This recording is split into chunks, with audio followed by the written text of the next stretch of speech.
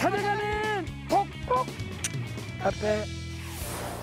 야그저 배승과랑과랑 모사름 삐찍삐찍한. 그 함덕 바당에서 그똥 철철 흘리면 헌때가 바로 엊그저께 닮은지 오늘 마지막이다 고생 많이 했수다. 이제 동안 고생한 우리 실장님을 위해서 커피는 제가 다 타겠습니다. 그럼 저 거기 가만 앉아 있을게요. 네, 딱 앉아. 미리 준비해 주시면 나가 커피 탁. 아, 타고 오늘도 화이팅 한번 합시다. 화이팅! 화이팅! 갑시다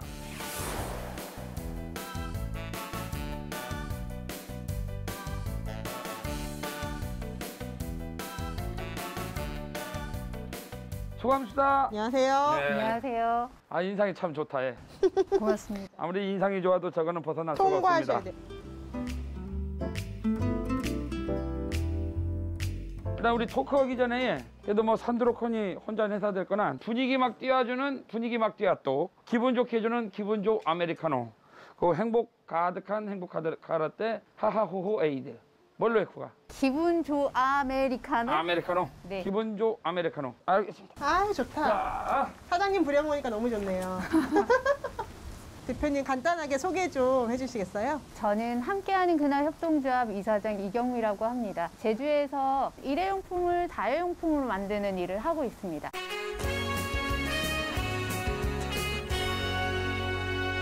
자 커피 왔습니다 어머 저 꽃 좀 봐. 자 오늘 특별히 제가 카스트입니다 맛 떠먹과 음. 어떻습니까? 음, 제잔이 유난히 제가 이제 크고. 그 손박 모드라고 손박 가득 아, 네, 손박. 손박. 아, 손박이 그런 뜻이었군요. 네. 이게 어떤 제품을 제일 주로 만드는 것과 저희는 면으로 생리대를 만들고요. 음. 생리대를? 네, 빨아서 다시 쓰는 생리대인데 어 소라칸이 좋아요. 요새 이게 그거 저 뽀랑 쓰지 않아도 또 마트 가면 새가 그냥 일년부 착착착착착 막 나오는데 굳이 그걸 뽀랑 써서 될 것과 그죠. 빨아서 다시 써야 되고 어, 건강에도 좋고요. 아 일단 건강에 좋고 네. 그리고 쓰레기가 생기지 않아서 좋고요. 아 환경 문제가 네. 해결되는 거또 있어요. 돈도 안 들어요. 맞아요. 경제적으로 또 그럼요. 좋고 네. 이거 그러면 어떻게 시작하시게 된 거예요, 사실? 어, 네. 2016년도에 아이들이 생리대가 없어서 깔창 생리대를 썼다고 하더라고요. 근데 그때 저희가 그 생협의 엄마들이 마을 모임 중이었어요. 노형 마을 모임. 그래서 뭔가 좀 해보자, 우리가. 우리가 아이들 빨아서 다시 쓰는 거라도 만들어 보자. 그렇게 해서 시작이 됐고, 그리고 저희가 면 생리대를 만들면서 그 다음으로 만든 게 면 와이프스였어요. 휴지 대신 쓰는 와이프스? 작은 손수건.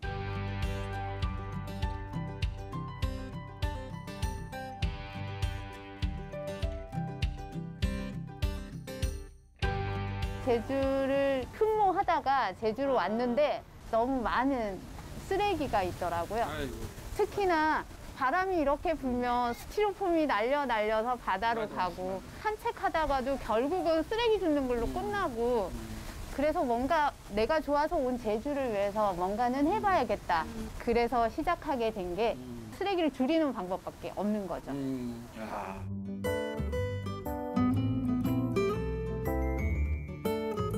집에서 집에서 내가 일회용품을 쓰는 게 없어. 없다고요? 지금 마스크도 일회용품인데 우리가 지금? 이걸 집에서 저는 안 낍니다. 아니 왜 그러냐면 저희 친구가 중화요리집을 해. 근데 일회용품을 안 씁니다 가인애가. 그러니까 늘 그릇으로 갖다 줬다가 그 다음날 제가 이제 갖다 주면 갖다 줬지. 젓가락 받으세요?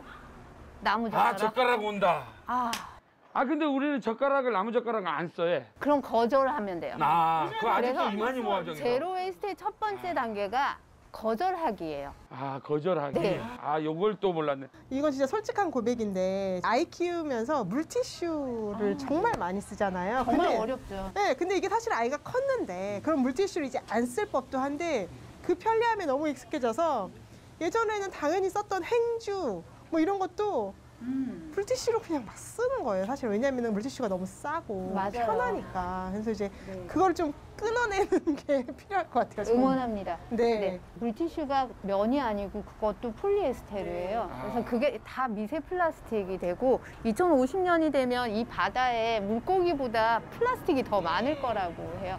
다 녹아서 네, 아주 작은 플라스틱들이 되니까요. 2000 몇년 마시? 2050년. 하지만 그 전에 될 것 같죠?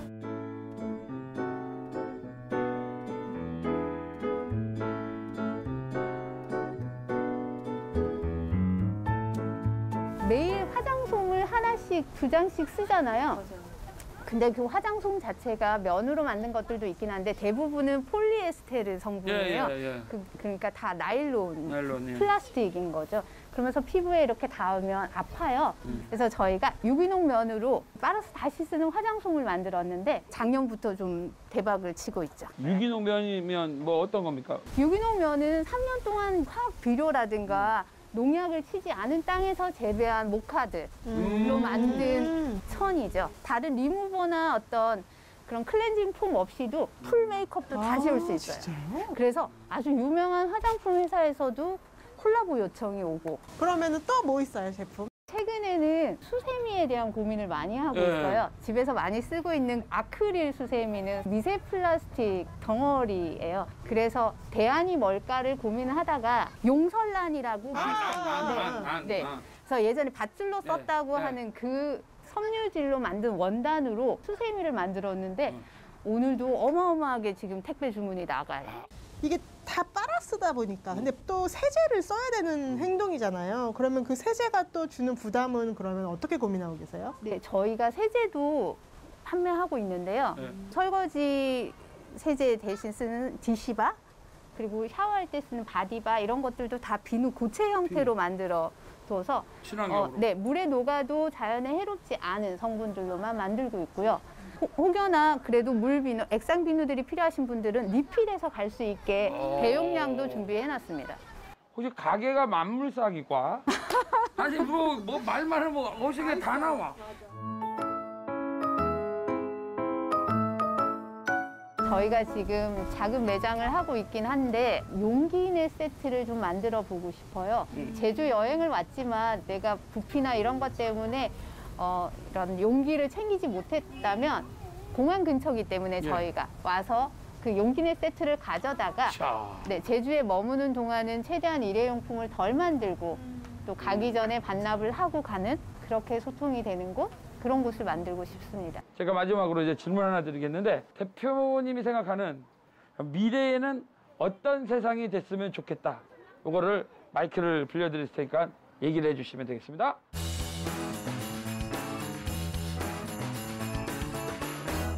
우리가 살고 있는 제주는 너무나 아름다운 섬이잖아요. 이 섬에 더 이상 쓰레기들은 없이 살았으면 하고요. 우리 다음 세대에도 제주가 그런 깨끗한 섬 그런 곳이 되었으면 좋겠습니다. 고맙다. 소감수다. 안녕하세요. 토크하시기 전에 열 체크부터 하고 시작할게요. 중요하죠. 맞아요. 음, 36.7도. 좀 받아주세요. 행복을 꿈꾸기 때문에 아. 행복 가득해 라떼로 부탁드립니다. 가득해 라떼. 오늘은 제가 차려고 있습니다.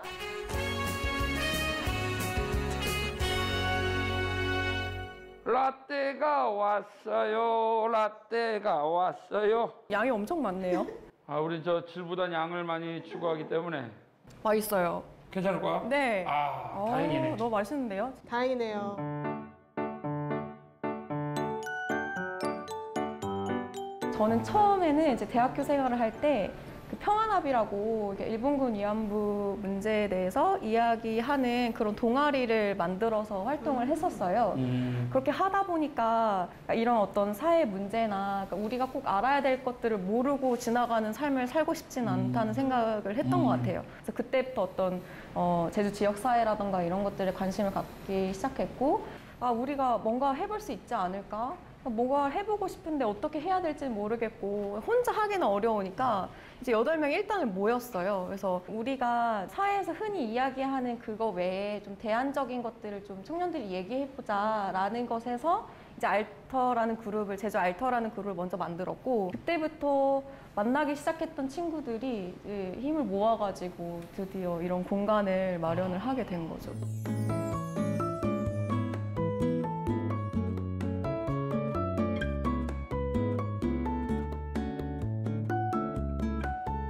아까 그 동아리도 만들었다고 말씀하셨는데 은연 중에 그때도 그러면은 그때 또 만들어서 대표를 했었어요. 그때도 리더십이 했었죠. 좀 있구나. 네. 네. 저지르네요. 네. 저지르셔. 근데 그때도 되게 그냥 우연하게 이제 사실은 약간 좀 학교 생활을 좀 지치기도 했었고 동아리 생활을 한 번도 안 해보다가 아, 그런 거를 해볼 수 있겠다라는 생각 그리고 막 우리가 와, 와, 콘서트도 한번 열어보자 뭐, 뭐 이유리 씨도 제주에 산다고 하는데 우리 초대해 볼 수 있지 않을까 막 이런 허황된 꿈을 꾸기도 하면서 이제 만들어서 막 무작정 서울에 찾아가서 그런 위안부 피해자 생존자 할머니들 만나뵙기도 하고 막 그런 활동들을 했었죠. 콘서트도 유치를 한다고 혹시? 그 노영의 방일리 공원이라는 아, 예. 곳이 있는데 평화의 소녀상이 예, 이제 예. 세워져 있는데 그것을 세우려고 하다 보니까 그러니까 사람들이 이것을 좀 기억했으면 좋겠고 사실 제주와 연관이 없다고 생각할 수도 있지만 사실 저는 많은 연관이 있다고 생각을 하거든요. 그래서 콘서트를 열어가지고 사람들의 관심을 좀 얻고 이런 그 평화비를 건립할 수 있는 돈을 좀 마련해 보자 해가지고 지역 사회 어떤 뮤지션 분들의 도움도 받고 재능 기부를 해주셨거든요. 그렇게 해서 종잣돈을 마련을 해서 이제 건립을 했었죠. 와, 네. 잘하시네. 엄청난 추진력이네요, 사실. 그러면 이제 여덟 명의 친구들이 네. 모여서 어, 제주도의 현안에 대한 고민들을 많이 했을 것 네. 같아요. 가장 첫 번째로 한 것은 이 공간을 마련을 한 거예요. 음. 그리고 저희가 생각하는 것 중에 이제 이주해서 오신 분들이 굉장히 많잖아요. 그 중에 이제 청년분들도 많이 있거든요. 그죠? 근데 그런 분들이 어, 적응하지 못하거나 떠나는 분들도 굉장히 많아요. 되게 어려워하고 섞이지 못하고, 그러니까 이런 고민들. 뭐 예를 들면은 여행을 왔는데 음. 너무 좋은 거예요. 막 너무 여유롭고 막 바다도 너무 예쁘고 막 오름도 막 너무 푸르르고. 근데 바다랑 오름에서 살 수는 없잖아요.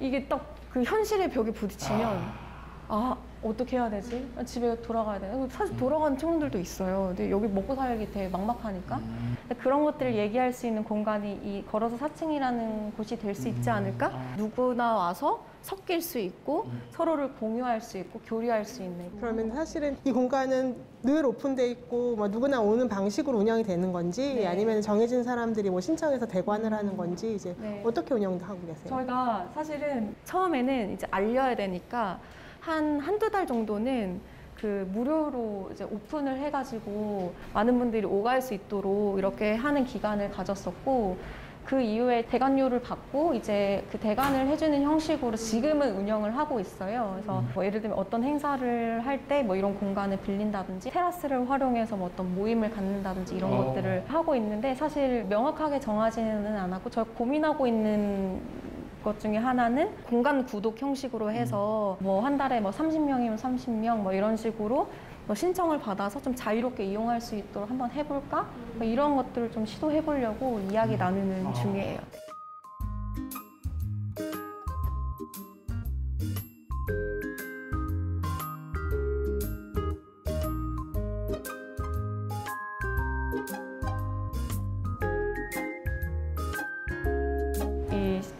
근처에 이제 청년들이 많이 다니는 이, 이 위치에 이 공간을 덜컥 발견을 해서 덜컥 계약을 해버렸어요. 그래서 한 여덟 명에서 돈을 차곡차곡 모아서 막 어디서 막 빌려가지고 모아가지고 계약을 해가지고 막 페인트 칠하고 막 벽지 뜯어내고 막 가구도 다 본가온 거거든요. 어디서? 아, 이거 본거 본 건가? 네네네. 아, 걔, 야, 이거 다 활용 다 하는구나. 네, 아, 미리 따라하시면 나도 뭐 둘러, 굴러다니는 거 몇개. 그 그러게요. 저, 저, 창고에 가면 빔 프로젝트도 두어 개 굴러다니고 우와. 지금. 저희 그거 드립니까? 어 정말요? 예, 우리 뭐 바로 바로 뭐 어, 방송에서 저희 너무 좋죠. 잘 옛날 거는 잘 될지는 안 될지는 모르고 그다음에 아니 그래도 너무 좋아요. 어떤 안 되면 고청이라서. 와 감사합니다. 어. 그러면 근데 저 기증 저 소감수다 부사장 저 가지고 해. 저희가 꼭 붙여놓을게요 스티커로.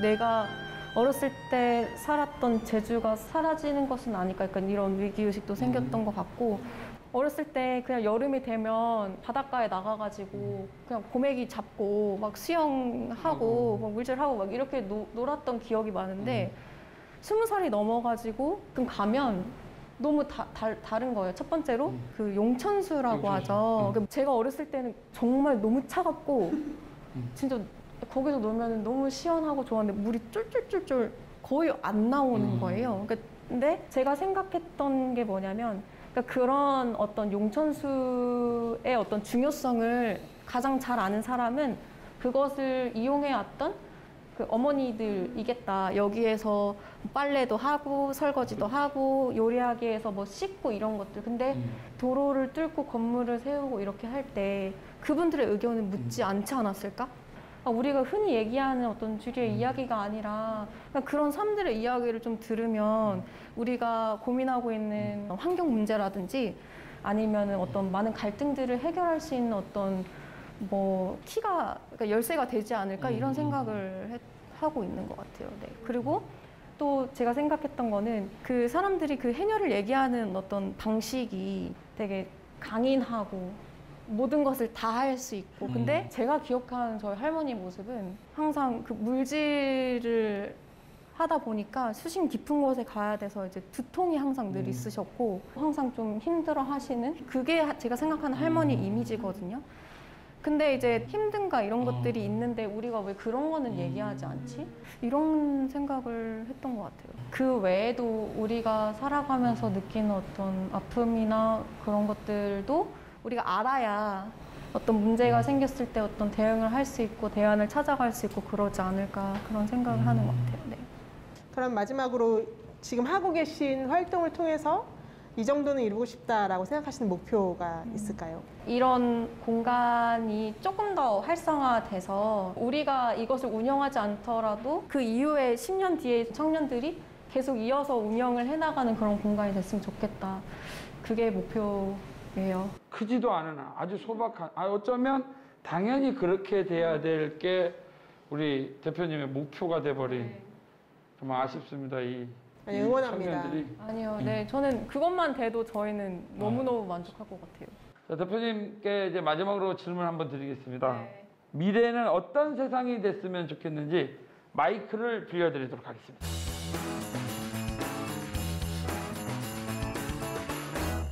지금은 어떤 사회가 이야기하는 어떤 규정에 맞춰서 어, 살아가기를 원하고 그것에 맞지 않는 삶을 살아가는 사람에 대해서 너 왜 그렇게 살아? 그렇게 살면 괜찮아? 이런 질문들을 많이 던지시는데 어, 그런 질문, 질문보다는 응원과 격려의 말씀을 해주는 그런 서로 좀 지지대가 될 수 있는 그런 따뜻한 사회가 됐으면 합니다.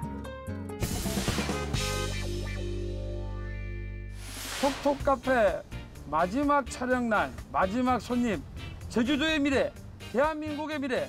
오영고등학교 70회 홍하민 안관민 박민관 친구들을 모셔봤습니다. 반갑습니다. 아.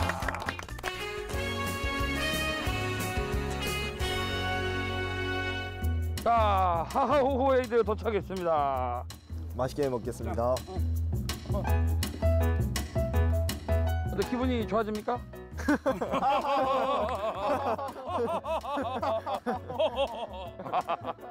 근데 우리 그 친구들끼리 동아리 만들어냈던 항목에 초점이라는 인문사회 동아리를 저희끼리 맡아가고 있습니다. 아 초점 예, 초점. 인문사회 인문사회 동아리. 그 그게 어떤 동아리인지 좀 자세히 설명을 좀 해주십시오. 인문 사회의 그 사회적 이슈에 초점을 두고 체계적으로 탐구를 하고 그에 대해서 여러 가지 활동을 하는데 저희는 제주 4.3이라는 사회적 이슈에 초점을 대- 두고 사람들에게 더 알리는 걸 목적으로 활동하고 있어요. 그 본인은 잘한다고 생각하십니까? 오영고등학교에서 4.3 사건 하면은 제 이름이 바로 나오죠. 오. 그 정도로 자신 있다. 당연하죠. 3.1절 그 축제가 열린 날에 그 아이 한 아이가 경찰이 타고 있는 말에 발발굽에 치여서 죽어버린 거예요. 그게 시발점이 됐는데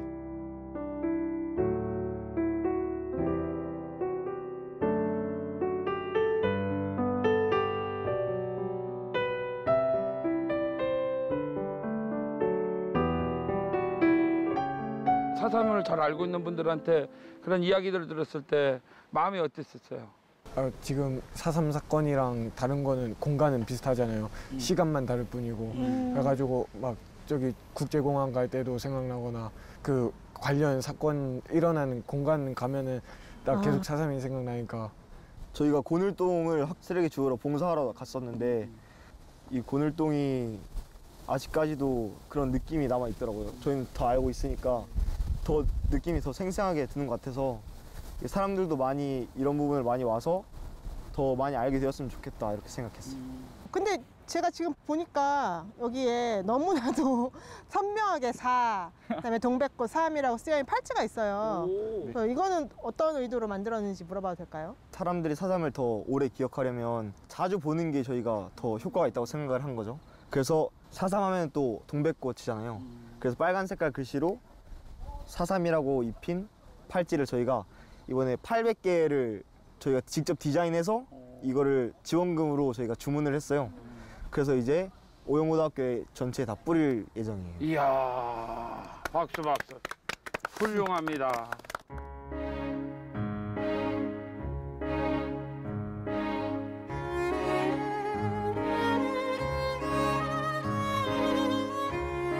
추어 챌린지를 한다고 하는데 그거는 또뭐 어떤 내용입니까? 우리의 사삼은 푸르다라는 주제로 축제를 하는 기획단에 속해 있는데 거기서 어떻게 하면 사람들한테 사삼을 더 많이 알릴 수 있을까 했는데 요즘 SNS를 많이 활용하잖아요. 그래서 challenge처럼 릴레이로 이렇게 한 명이 태그하고 태그하고 이런 식으로 더 퍼져 나갈 수 있도록 수어 challenge라는 걸 했었는데 그 수화를 한번 보여주세요. 보여주세요. 음. 우리의 사, 삼은 밝고 희망차다.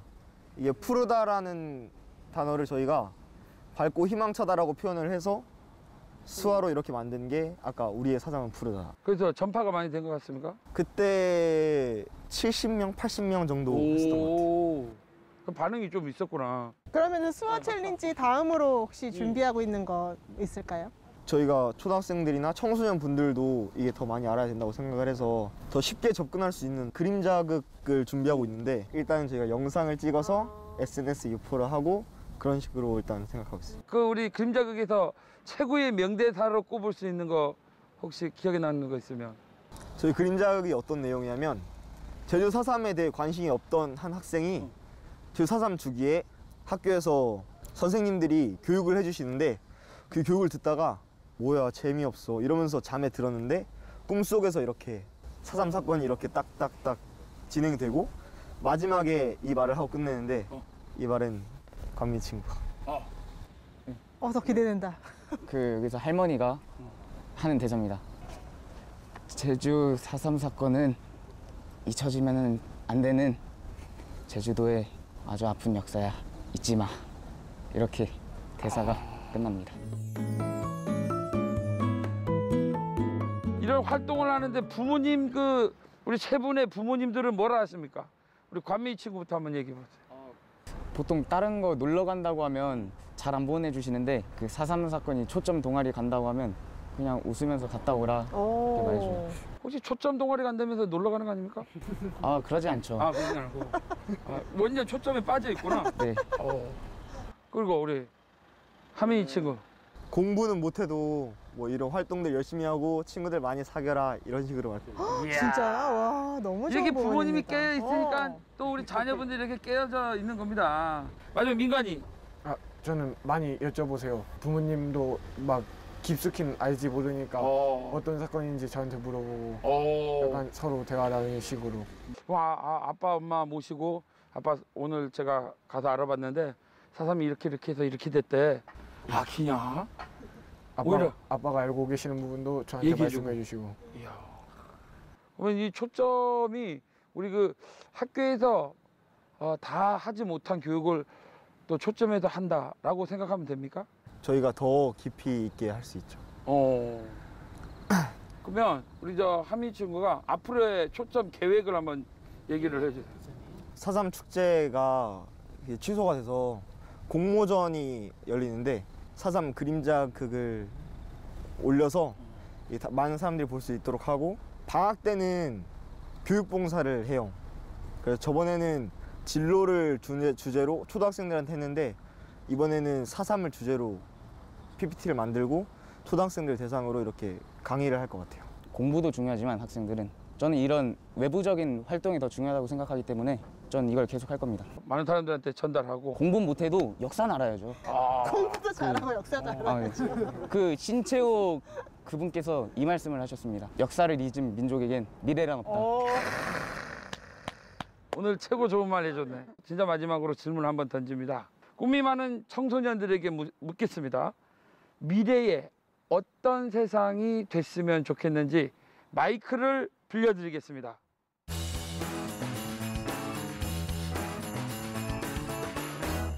제가 원하는 제주의 미래는 4.3 사건 피해 가족들에게 제대로 된 보상을 해주고 진상 규명을 해주는 게 제가 원하는 제주의 미래입니다. 제가 원하는 제주의 미래는 4.3 사건과 같은 사건들에 저희가 걱정하고 고민하지 않는 그런 고민이 없는 사회를 원합니다. 저희 같이 이렇게 사삼을 알리는 활동이 필요 없이 모든 사람들이 제주 사삼에 대해서 다 잘 알고 있는 그런 미래가 되었으면 좋겠어요.